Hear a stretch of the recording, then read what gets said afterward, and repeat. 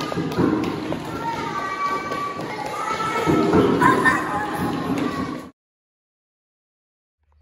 niño se la queda y tiene que pillar a los demás.